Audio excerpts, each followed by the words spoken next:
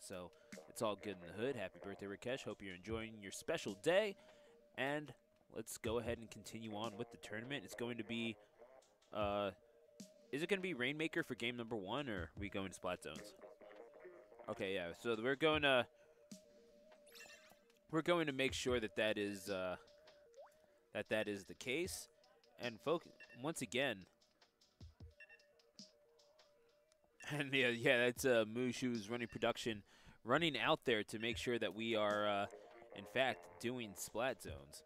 So it's a good little, uh, good little oversight to have when you're uh, running production and also running the tournament. It's uh, it's not an easy life, but you know what? Someone's got to do it. so we're going to reset the uh, reset the lobby and make sure that we are good to go on uh, every single count.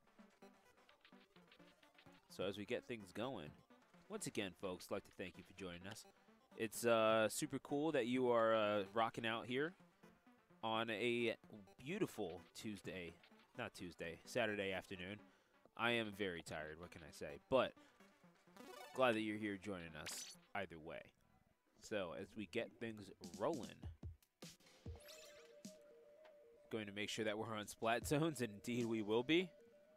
We also uh, spared ourselves from uh, from having to deal with Moray Towers, so that's nice. What can I say? I'm just not a big fan of Moray Towers. Yeah. Moray Towers Moray Towers is like the Drake of Splatoon stages. It's the most popular one and no one can really figure out why. I know.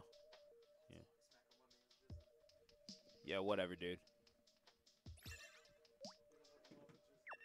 No, dude, he's not good. He is not good. He is not good. He is not good. really? Like that's the that's the breaking point for Infinite Omega is, is Drake. Yeah. I don't I don't get it. I just don't. Either what a way to start this VOD. Holy smokes. Uh, we're gonna get folks if you dislike Drake, go ahead, like, comment, and subscribe to Bros Calamity. And folks, if you do like Drake, like, comment, and subscribe to Bros Calamity. So, either way, going to get things rolling on Splat Zones here at uh, look like Mako Martin. Indeed, it is. So, Team Happy Birthday Raptura going up against Team Ace 96 Deco. Uh, happy birthday, Rakesh. Well, it is being led by Raptura. He's going to be celebrating like his birthday if he wins this for sure, and he'll be doing so with the Sloshing Machine Neo. Interesting choice to go along with the Kensa Splat Dualies the Bloblobber, and the Blaster. Oh, he gets a uh, shot right to the face, courtesy of That So. With that Blaster, again, so dangerous in the hands of That So. But opposing them is going to be that Explosher to go along with the Tentatek Splatter Shot, the Enperry Splat Dualies, and the Splatter Shot Pro. And Luna going to be driven away wielding those Enperry dualies.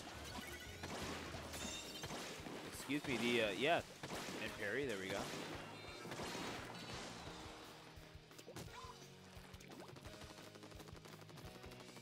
Now covering as much ground as she possibly can. Curling bomb to keep the uh, keep the enemies at bay. 3-3 on the field. And driving up the ramp here with that Tentatek splatter shot, a big favorite in the uh, Western meta for the early uh, portions of the game. Now Eris with those Kensa dualies. The maneuverability cannot be understated. This is going to be tough for Eris. Trying to hold this zone, but it is 3-3 on the field. You see the bubbles coming in. And indeed, there was really only one choice, and that was to vacate the premises. But now it's going to be 3-3 on the field. Sacrifices having to be made here. Make it 4-2. And uh, going to see a deluge of blue soon enough. And Luna trying to come in and assist with the takeover of the zone. Taking out Raptura will help and indeed will secure the job. As the splat wall, uh, splat wall being thrown up. Beacon on Luna. He's gonna have to be careful here, trying to scout out the competition before the charge comes in. Don't want to be doing that short-handed, however. 4-2 on the field. And Luna with the, oh my gosh, the Inkjet firing away. Going to be looking for a double kill here, and you're not going to find it at that range, but does well to get one. And now is Team Ace domineering as always. Looking to play some aggressive Splatoon and will get the trade. Will Astro, however, it's a complete team wipe, 3 to two on the field, and it looks like that will be the coup de grace implemented by Team Ace, and indeed it will.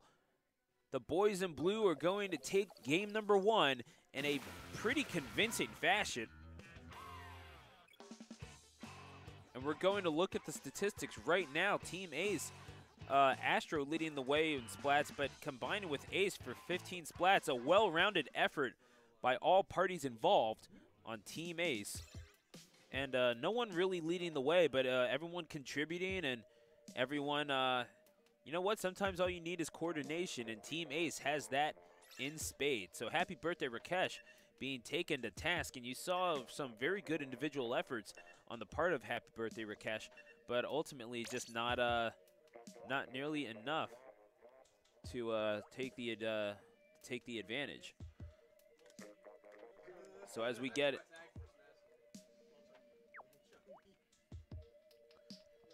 So as we get set for game number two here between HBR and Team Ace. There's a lot of things happening around me. I do apologize for that. It will be interesting to see how Raptura and company respond, as uh, Raptura is the captain of this particular side. Uh, Pixely, That's So, and Eris are going to have to respond in a pretty big way, as we do see some good individual performances, but that aggression being used against them by uh, by Astro and Ace go along with uh, Luna and Neo. So that ought to be interesting. But nonetheless, so we are waiting game number two, folks. Once again, twitch.tv slash bros underscore calamity. And uh, Ranmaru, as uh, he is known. Well, I mean, this is we could we could just go by his tag in the game, whatever, Neo or Ranmaru, whatever the case may be. Either way, he's a heck of a player and a heck of a teammate to have. Good company for Ace, Astro, and Luna as we approach game number two. It's going to be tower control at Starfish main stage. Stage that has since been retooled since the uh, since the beginning of the game. Raptura breaking out, old reliable, the sloshing machine.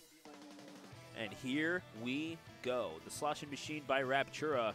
He'll be joined by the Octo Shot and the Kensa Rapid Blaster of Pixely once again to go along with the backline Splat Charger the splatter scope, it looks like. To be uh, to be specific, Raptura reaching up and picking the fruits of his labor up off of the top. And he's going to ride the tower and take the first points of this game number two. And he's going to make a pretty big dent on that score. However, being taken to task from behind by Ace. He will be doing work with that Kensa Splattershot Pro, and he'll be joined by the uh, light Tetra Dualies, along with the Tentatek splatter shot and the jet squelcher. Neo will be driven off the tower. However, he gets right back on, but to no avail, nowhere to go. And Raptura with that Stingray, you can see why he went with it now. Stingray uh, goes with tower control like uh, chocolate and peanut butter.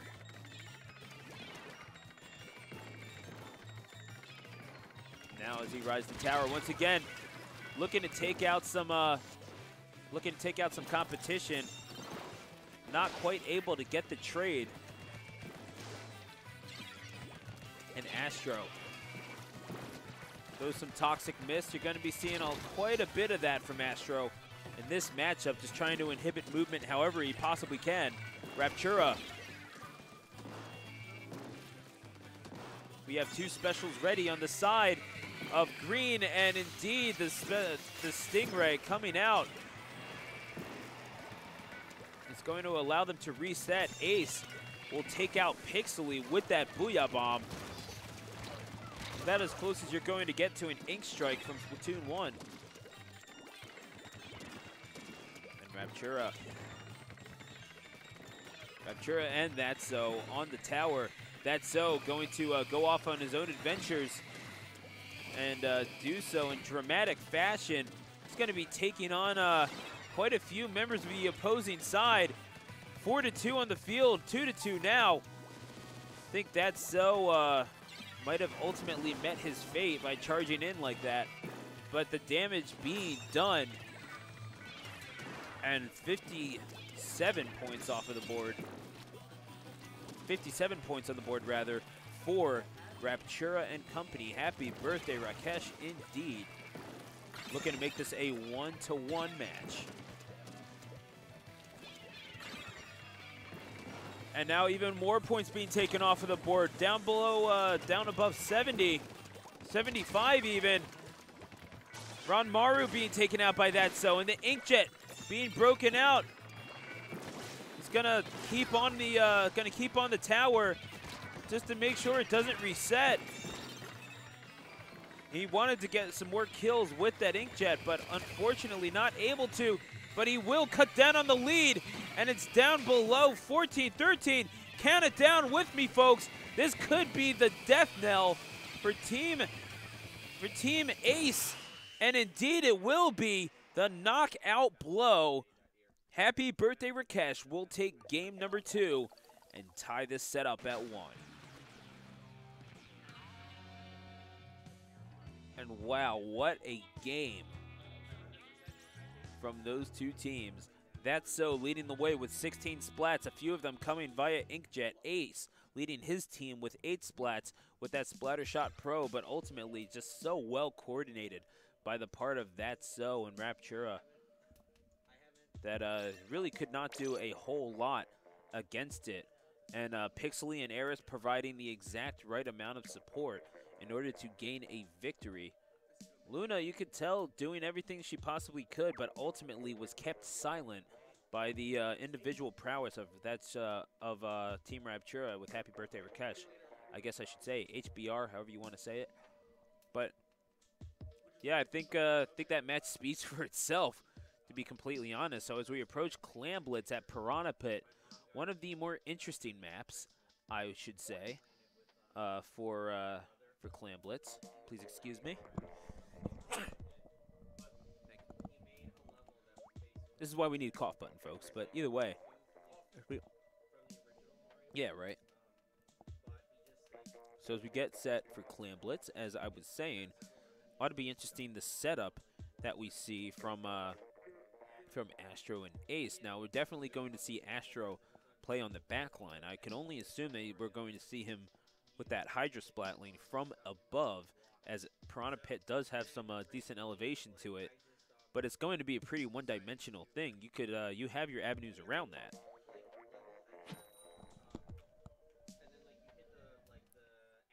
So now, game number two. Number three, I should say, because it is number three at Piranha Pit, and you can see it's going to be uh, it's a it's a bit of a trek just to get to your goal to defend it. Astro indeed breaking out the Splatling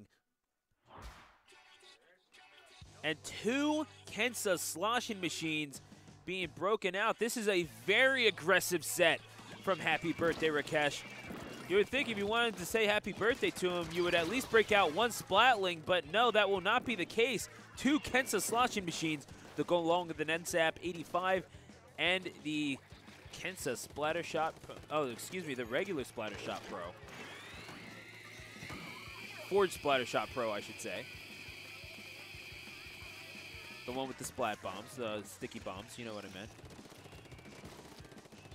And Astro, a backliner if there ever was one here at the laboratory. With that Splatling, he's going to try to keep Raptura at bay, even with that Power Clam. And the rest of his team getting taken out. The rest of his team uh, employing a uh, splatter shot, vanilla splatter shot along with the Kensa Dualies and the Forge Splattershot Pro as well. But there's a lot of damage being uh, taken out upon by, by Happy Birthday Rakesh. 35 points on the board, and it looks like that will be all, but damage being done early by Team HBR.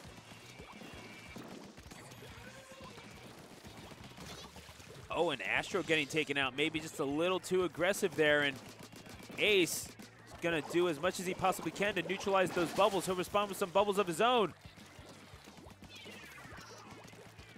Oh, his movement's being dictated very easily. Oh, no! Pixely misses the throw. And that could have been huge for Team Happy Birthday Rakesh. Raptura being made to chase after it. And that's exactly what Team Ace wanted as Ranmaru helps neutralize the threat in the middle. He goes ahead after taking care of business at the back.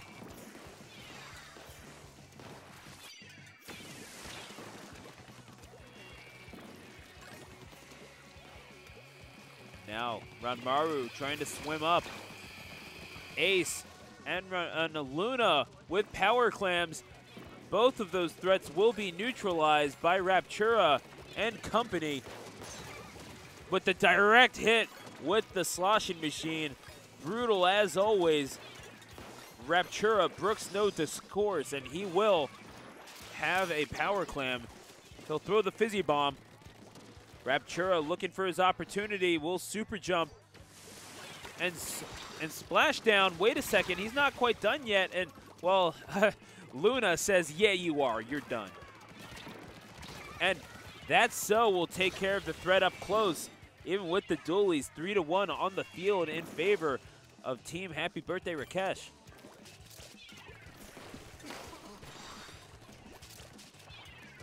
Pixely with that Fizzy Bomb looking to take care of the threat on the side. Could very well have moved on, however. Pixely is going to super jump towards his teammates at Raptura. The barrier will be broken, and indeed the score taken down. Oh my goodness. A barrage of clams being thrown in by Team HBR and 85 points off of the board, but that's a team wipe. They're going to have more clams to be thrown in. Raptura looking to keep the points uh, the points going, and he'll be pushed back behind the goal, and eventually he will super jump back to his base. The fact that that's so got a trade out of that is just a little nuts. But indeed, 88 points on the board. Eris will forfeit the ball and try to draw uh, opposition towards it. That will allow uh, some of his teammates, uh, that will allow him to get a splat. And that's so. Looking to administer the coup de grace. This could be the opportunity here. Cutting in on the penalty. There's 12 points. More clams being thrown in. Indeed, the power clam will be the knockout blow, and Team HBR will take it 2 to 1 after a knockout victory in Clam Blitz. And what a victory it was. Ace dropping two games in a row. That's so and Eris combining for 31 splats. The aggressive setup had paid dividends and then some. 31 splats combined between the two. And now as uh, we get set for Rainmaker, game number four, it will be interesting to see the stage. And that will certainly determine the makeup of the two teams. Snapper Canal will be the venue. So you're going to see some uh, you're going to see some cheekiness all over the map. It's not going to be through one central avenue. You're going to see battles all over this field, so we'll definitely call into question the 1v1 prowess of Team Ace and see that, you know what, we know that we have some good individual players, but let's see if they're good enough to take out Raptura, and that's so. Two members, of course, of the Bros Calamity Squall Stars. So uh, Astro, a Squall Star himself, a backliner on that side. He's going to probably have to take a little bit more of a of an aggressive tact as well. I could see him breaking out the Jet Squelcher here just so he could be a little bit more mobile, but you're going to see him uh, want to keep at range as well. And uh, you see that when he gets aggressive, that's when he gets himself in trouble, unfortunately. That's uh, simply not the game that he plays, and uh, certainly not why he's one of the more celebrated players to come through the laboratory, is uh, because of his long-range expertise. You don't really want him, uh, he, he's not Muddy Jr., he's not going to be the person that you're going to want to throw onto the front lines trying to uh, trying to go all Rambo on people. No, you're going to want him to you're to want him to, to stay at range. So now, Snapper Canal, Rainmaker, game number four. Team Ace will need this to stay alive. Team HBR needs this to seal the deal and come away with the victory. Raptura going back to the sloshing machine as one would expect, but it's the Kensa model this time. And now the Kensa sloshing machine, NZAP 85, a rapid blaster of his own to go along with the, uh, excuse me, the Rapid Blaster Pro and the Forge Splatter Shot Pro. But on the but on the opposition, we're going to see Astro breaking out the Explosher. Interesting. Now we have seen him play this. We have seen him play that, but we are used to seeing Raptura use it uh, a little bit as well. So it's interesting to see this uh, come from Astro and not Raptura. But the Explosher, Tentatek splatter shot, the uh, Custom Blaster, and the Forge Splatter Shot Pro. So both sides having Forge Splatter Shot Pros. Raptura, oh, is going to get taken care of by Astro with that Custom Explosher. And now the Rainmaker being taken up by Team HBR. The Baller going to, oh my gosh, going to take care of Pixely and then the Explosher taking care of that. So two members of Team uh, of Team HBR being decommissioned by Astro, who also takes the lead with the Rainmaker going up the side, charging, and just like that, Astro putting the team on his back and carrying them to 90 points on the board.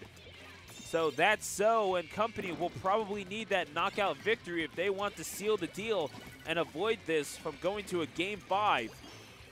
They've been looking so dominant as of thus far. That's so taking out Ace with the splatter shot, uh, with the splatter shot pro, the Forge model that has those suction bombs as mentioned prior. Oh man, Ranmaru had nowhere else to go. And that's so right now. Doing an incredible job. However, that so is in deep trouble, and indeed, it's going to be Astro getting a measure of retribution. Raptura in trouble, taken out by Ranmaru on the side, and Ace is going to help pop the bubble and hopefully uh, secure a, uh, at least hopefully for him, secure a knockout victory. That's so being taken out by Bubbles. Astro, excuse me, Ace popping the bubbles, popping bottles in celebration of a game four victory potentially. But HBR, they're going to have something to say about this. You're seeing a lot of bodies close to that Rainmaker. Eris gets taken out from range by the Explosher. Astro doing a great job from range thus far, connecting on eight kills thus far. Just a little over halfway through the game. Raptura does well to get out of the way of the Explosher, but only for so long. What a kill by Astro. And Ranmaru gets decommissioned by the Splatter Shot Pro, and that so could have just saved his team. And now the push. Four people on the field. You're going to do it. Now's the time. The blaster out of commission for just now. Three to four to one on the field. Four to two make that. However, they're driving up right near the spawn point. They're going to get taken out eventually, and indeed, Luna does some dirty business along the side. And what a good job by Luna with that custom blaster. She might have just saved her team a victory. So it will be 61 points on the board. for That So and company of Team Happy Birthday Rakesh. However, it's not going to be enough to secure the victory this time. They're going to have to get 91 or more. Less than a minute to go. The push is going to have to happen now. Waiting for all four members of the side to get back to each other. Eris is going to have to get back there and get back there just a little bit quicker than he is if they want to continue this push. 4-4 on the field. Eris is trying to, going on these solo endeavors, trying to sneak up behind them. They will push it up, but not nearly enough. And it's 2 to two on the field. It's anyone's ball, anyone's Rainmaker, I should say. Four to three on the field and it looks like they will take it. They're going to push forward. Do they have enough to take the lead? Yes, they do. It's a knockout blow. HBR, three to one. Just enough at the death of it all, and HBR steals it. What a play. Eris coming up through the side, occupying the opposing team enough, and uh, Ace, as you saw, the top two players on Team Ace combining for 27 kills, but ultimately, Eris with some cheeky maneuvering. That was high risk, high reward. Don't make any mistake about it. But occupying the opposing team just enough to secure the victory. And uh, that's how you do it. It's a teamwork makes the dream work.